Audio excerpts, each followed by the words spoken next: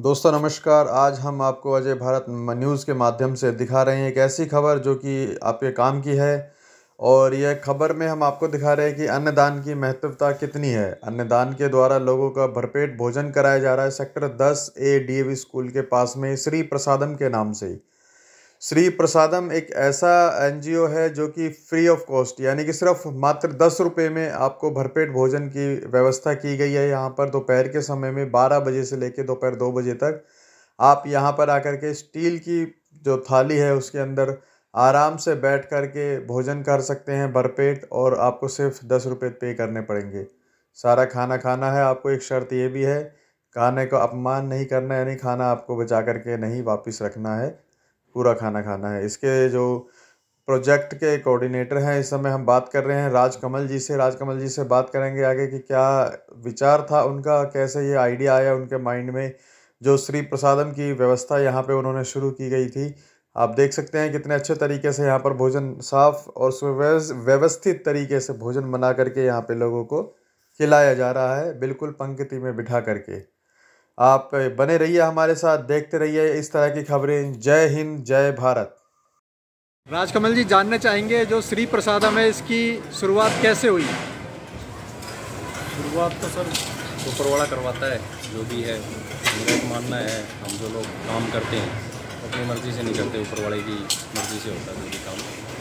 और जहाँ तक बात है क्यों हुई कैसे हुई देखिए मेरी नज़र में जो अन्नदान है, उससे बढ़ के कोई दान नहीं है। एक भूखे आदमी को आप खाना खिला दो, उससे बढ़ के कोई पुण्य नहीं है। आप किसी को पैसा दो, कुछ और सामान दो, पता नहीं कैसा क्या यूज़ करता है हमारे साथ करीब करीब बीस पच्चीस लोग हैं मेंबर्स हैं। सबके सहयोग से, सबके सुझाव से हम लोगों ने इसकी शुरुआत की। सर जो आपने श्री प्रसादम को शुरू किया क्या कोई ऐसी घटना हुई थी जिसे देख करके आपको मन में ये जागा कि लोगों को भोजन खिलाना ज़रूरी है हर रोज़? सर घटना तो क्या है जैसे गुड़गांव में लोग आते हैं।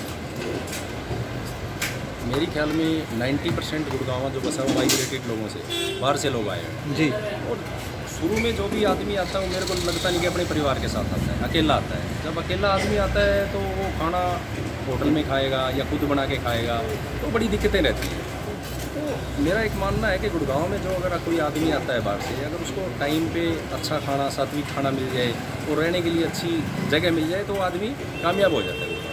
ये घटना तो मेरा पर्सनल एक्सपीरियंस रहा है जी। मैं भी कभी पंद्रह सोलह साल पहले गुड़गांव में बाहर से हिसार से बिलोंग करता हूँ। हिसार से यहाँ आया तो ये चीज़ें मैंने महसूस करी कि अगर आदमी को अच्छा सात्विक भोजन मिल जाए होटल के ऊपर सबको शूट करता है नहीं करता है पॉकेट आपकी अफोर्ड करती है कि नहीं करती तो काफ़ी चीज़ें हैं। सर कितने लोगों के खाने से शुरुआत हुई थी और आज कितने लोग खाना खा के जाते हैं आपके श्री प्रसादम में? सर शुरुआत में करीब करीब साठ सत्तर लोगों से शुरुआत की थी हम लोगों ने। उन्नीस अगस्त से हम लोगों ने शुरू किया था उसके बाद कंटिन्यूस चल रहा है।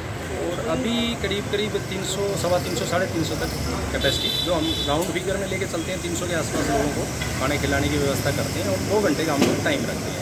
दोपहर को बारह बजे से लेके दो बजे तक। दो महीने में साठ सत्तर से साढ़े तीन सौ तक? जी जी तीन सौ साढ़े तीन सौ। सर जैसे कि हमने देखा आपके यहाँ पे मेन्यू भी लगा हुआ है कि हर रोज़ आप अलग अलग तरह का खाना खिलाते हैं और इसके लिए आपने शुल्क रखा सिर्फ़ दस रुपये का। तो दस रुपये का शुल्क ही क्यों? कुछ लोग पाँच रुपये में भी खिलाते हैं, कुछ लोग फ्री में खिलाते हैं तो आपने दस रुपये शुल्क किस हिसाब से रखा था? सर, देखिए एक सिस्टम बनाने के लिए और एक आदमी के आत्मसम्मान के लिए। देखिए, कोई भी आदमी आता है, बड़ी में अगर हम खिला रहे हैं तो हो सकता है कि आदमी को लगे पता नहीं कैसा खाना है, क्या है। दस रुपये हम ले रहे हैं तो आदमी सोचता है कि मैं अपनी पॉकेट से पे कर रहा हूँ, बड़ी में नहीं खा रहा। थोड़ा सा आत्मसम्मान रहता है। इसके अलावा कुछ एक लोग ऐसे भी आते हैं, पे नहीं कर सकते। हम उनको फ्री में भी खिलाते हैं। दूसरा एक सिस्टम बना रहता है ये, और मेरे को लगता नहीं कि दस रुपये पे करना किसी के लिए कोई बड़ी मुश्किल बात है। सर जैसे कि आप श्री प्रसादम के तहत खाना खिलाते हैं तो क्या इसके लिए कुछ डोनेशन वगैरह भी एक्सेप्ट करते हैं या लोग किस तरह से यहाँ पे डोनेट करके जाते हैं? डोनेशन फाइनेंशियली भगवान की दया से हमें किसी तरह की ज़्यादा सी आवश्यकता नहीं रहती। लेकिन अगर कोई श्रद्धा से अगर देना चाहता है तो हम उसको एक्सेप्ट करते हैं। दूसरी बात करीब करीब हम लोग बीस से पच्चीस लोग हैं जो अपना मंथली कंट्रीब्यूट करते हैं। इक्यावन सौ रुपये पाँच हज़ार रुपये हम मंथली कंट्रीब्यूट करते हैं। और अगर मैं कैलकुलेशन की बात करूँ, जैसे मैं मोटा मोटा आपको बताऊँ, तीन सौ लोगों के लिए हम खाना बनाते हैं। तीन सौ रुपये तीन सौ लोगों में से दस रुपये हम उनसे चार्ज करते हैं। तीन हज़ार रुपये हमारे पास आ जाते हैं। इसके अलावा अगर मैं कोस्टिंग की बात करूँ, एक थाली के ऊपर पच्चीस से तीस रुपये कोस्टिंग आती है, अगर हम बात करें। तो मोटा मोटा सात, साढ़े सात हज़ार रुपये का खर्चा आता है। इस जो बैलेंस बचता है, वो हम कंट्रीब्यूट करके पे कर लेते हैं। जगह का, जैसे मैंने बताया, जगह विक्रम जी हैं डाना गाँव से। उन्होंने हमें फ्री ऑफ़ कॉस्ट पहले तो उन्होंने बोला था कि दो तीन महीने आप चलाओ, लेकिन जब ये सिस्टम चला, वो देख के इतना उनको गर्व महसूस हुआ कि हमारी जगह में ये चीज़ें हो रही हैं तो उन्होंने हमें ऊपर दे रखा है कि जब तक आप चला सकते हो मैं बड़ी ऑफ़ कॉस्ट आपको जगह दूँ उनका भी बहुत बड़ा योगदान है। तो जो खाना बनाते हैं ये लोग काम मतलब हलवाई खाना खाने के लिए हम लोगों ने खाना बनाने के लिए तीन लोगों को हमने परमानेंट स्टाफ रखा हुआ है। तो हमें हम पे करते हैं उनको। जैसे कुक है उसको हम लोग पे करते हैं। कुक कुक का हेल्पर है एक सफ़ाई के लिए बंदा रखा हुआ है। तीन लोग हैं जो पेड है। इसके अलावा सेवा के लिए जैसे प्रकाश जी हैं अपने, ये अपना सेवा के लिए आ जाते हैं, यहाँ पे गुड़गावा से बिलोंग करते हैं, अपना बारह बजे आ जाते हैं, दोपहर को अपना कम से सेवा करते हैं हो करते हैं। अग्रवाल साहब हैं रिटायर्ड हैं, अब 12 बजे आ जाते हैं, सहयोग करते हैं। इसके अलावा हमारा जो स्टाफ है डिज़ाइन हमारा शेड्यूल है यहाँ का स्टाफ है, मेरे पास जैसा मैं भी अपना फ़ील्ड में रहता हूँ, अपना काम में रहता हूँ तो 12 बजे जैसा हमें टाइम मिलता है, हम आ जाते हैं और बारह बजे से कब तक? दो बजे। वैसे तो टाइम हम लोगों ने रखा है बारह से दो का रखा है। लेकिन डिपेंड करता है कि खाने पे क्योंकि हम जो क्वान्टिटी है वो बनाते हैं टारगेट तो तो हो सकता है कई बार पौने दो भी खत्म हो जाता है सवा दो भी हो सकता है। लेकिन जो टाइम रखा हम लोगों ने बारह से दो का राजकमल जी जो दर्शक आपको हमारे चैनल के माध्यम से देख रहे हैं यदि कोई कंट्रीब्यूट करना चाहे आपके साथ मिल करके वो आपसे कैसे संपर्क कर सकता है? कृपया अपना संपर्क सूत्र दीजिए। है कि संपर्क सूत्र हम लोगों ने लिखा हुआ है हमारा नंबर लिखा हुआ double eight double zero five nine double one five दूसरी सर, हमें आर्थिक सहायता की, आज की डेट में ज़रूरत नहीं है सर। हमें तन और मन की सहायता की ज़रूरत है। जो भी भाई यहाँ से योग करना चाहता है, देखिए सहयोग वॉल्टियर के रूप में बारह से दो के बीच में यहाँ आए, खाना बंटवाने में हमें सहयोग करे। इसके अलावा कोई और उनका किसी तरह का सुझाव है, जो हम काम करें इसमें किस तरीके से हम बेहतर बना सकते वो मोस्ट वेलकम है हम किसी ये जो काम है किसी एक आदमी के द्वारा नहीं किया जाता। ये मिलजुल के सामाजिक काम है सब मिलजुल के हम काम करते हैं। जी। समझ ये तो आपका सेवा भाव रहा इसके अलावा आपका और बिज़नेस क्या है? वो बिज़नेस ही मैं कंस्ट्रक्शन से बिलोंग करता हूँ। मेरा construction company interior solution group India के नाम से और कॉरपोरेट इंटीरियर में हम लोग डील करते हैं। इसके अलावा ये डिज़ायर भी कंपनी ने शुरू किया है। इसमें गारमेंट मैन्युफैक्चरिंग काम है। इसी छोटा काम है। जी बहुत बहुत धन्यवाद आपका हमारे साथ बात करने के अग्रवाल जी जानना चाहेंगे अग्रवाल जी जो आप श्री प्रसादम में अपनी सेवाएँ दे रहे हैं उसकी शुरुआत कैसे हुई और आज आप क्या देखते हैं अपने आप को? बात तो ये जी ने इसको शुरू किया था जैसे आपने इनसे पीछे जी। तो मैंने ये चलता हुआ देखा तो मुझे अच्छा लगा। तो मैंने इसको शुरू किया। मैंने यहाँ आना शुरू किया और मैंने यहाँ पे अपना धन से भी कंटिन्यू जी। आप तन से मन से और धन से तीनों ही प्रकार से यहाँ पर सेवा दे रहे हैं। अग्रवाल साहब एक रिटायरमेंट के बाद में लोग जो है घर में रहना ज़्यादा पसंद करते हैं। ऐसे में आपने बाहर निकलकर समाज की सेवा करने की सोची है तो इसकी प्रेरणा आपको कैसे मिली? ये प्रेरणा नहीं मेरी आदत है। लोगों की जो ज़रूरतमंद लोग हैं उनकी सेवा करना मेरी आदत है। जी। और ऐसा नहीं है कि रिटायर्ड आदमी घर में ही रहते हैं। रिटायर्ड आदमी बहुत बहुत बड़े बड़े काम कर रहे हैं।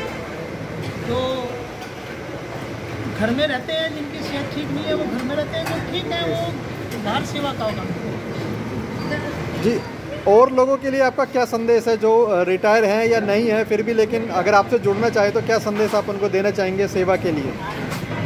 जुड़ने के लिए तो हम सबसे पहले शर्त ये रखते हैं कि उसको हमारा जो ये रसोई है मन से अच्छी लगनी चाहिए जो हम लोग अभी जो चला रहे हैं इसको, हमारे पास धन पर्याप्त है, जितना हम चला रहे हैं। और जितना ज़्यादा धन होगा हमारे पास तो हम उतना अच्छा चला सकते हैं। हम उसी आदमी को यहाँ पर जोड़ते हैं, जिसको सेवा भाव हो, जिसको ये हमारा अच्छा लगे। ऐसा नहीं है कि हम किसी से भी पैसे लेते हैं, हम किसी से मांगते नहीं हैं पैसे। जो खुद आगे हमें देता है, जिसको हमारा कार्य अच्छा लगता है, उससे पैसे। आप यहाँ सेक्टर मार्केट है यहाँ पर आपका ये है श्री प्रसादम। हाँ। तो आसपास के कितने लोग आपके साथ कॉन्ट्रीब्यूट करते हैं? ये हमारे सेक्टर दस ए भी बहुत सारे आदमी हैं यहाँ पे। और बाहर के आदमी हैं तकरीबन पच्चीस आदमी हैं जो मंथली बेस पर कंट्रीब्यूट सर दानदाताओं की कमी नहीं है गुरुग्राम में ऐसे में आप क्या कहना चाहेंगे? ये बिल्कुल सच है कि अच्छे काम के लिए लोग वक्त पैसे देने के लिए तैयार हैं लेकिन वो अच्छे आदमियों को ही मिलता हैं। जो दान जब ही नहीं मिलता है जब सामने वाला अच्छा हो।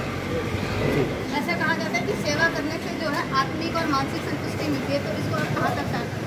ये सौ परसेंट ठीक है तो एक बात जो आजकल हमारा चला हुआ है इसमें अगर हम सेवा भाव रखते हैं तो ये आपको हर तरह से आपकी सेहत के लिए भी अच्छा है आपकी मानसिक शांति के लिए भी अच्छा है और हर तरह से आपको बहुत बहुत धन्यवाद अग्रवाल जी हमसे बात करने के लिए। थैंक यू चाहेंगे श्री प्रसादम से आप कितने समय से जुड़े हुए हैं और कैसा लग रहा है आपको? तीन चार महीने चल रहा है जी। जी। जुड़ रहे हैं। सर अ, लोगों को क्या संदेश देना चाहेंगे आज के समय में कि अन्य दान करने के लिए ताकि उनमें ज़्यादा प्रेरणा आए? लोगों के पास में धन बहुत है लेकिन कर नहीं पाते तो ऐसे में क्या संदेश है आपका? लोग हैं। ठीक है। आप लोगों को कैसे सजेशन देना चाहेंगे कि लोग तो ये सभी को करना चाहिए काम। अच्छा। और श्री प्रसादम के साथ में जुड़ने की प्रेरणा आपको कहाँ से मिली सर? तो प्रेरणा साथी होने के मन से होगा हम भी जी। यही अपना ऑफ़िस है इसी। अच्छा अच्छा। आज के समय में चालीस से पचास रुपए की खाली होती है? वहीं आप दस रुपये में वर्केट होता चलाते हैं तो कितने है? ये ऊपर वाला दे रहा है? हम कौन थोड़ी देर ऊपर पर जिस काम हो रहा है हमारी जिस काम आगे क्या इसमें कुछ और अमेंडमेंट करने की आपको लगता है कि ज़रूरत है? कुछ और इसमें चेंज करेंगे? कुछ बढ़ाएँगे? बढ़ाने की कोशिश है। जी जी। भगवान ने आपको निमित्त बनाया हम दे रहे हमारे पास बहुत बहुत धन्यवाद विजेंद्र सिंह जी हमसे बात करने के लिए। धन्यवाद।